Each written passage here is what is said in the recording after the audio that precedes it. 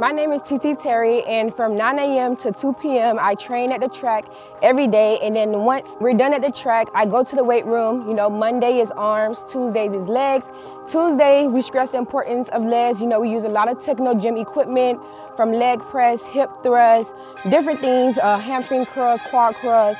And you know, it's very important that we do what we need to do in the weight room. You know, a lot of our things are isometric as opposed to the typical Olympic lifting. With the Technogym equipment, my favorite is the leg press machine, you know, being able to strengthen my legs and be able to maintain that speed throughout the season. My name is Tee Tee Terry and I move for inspiring others and now I move for Paris.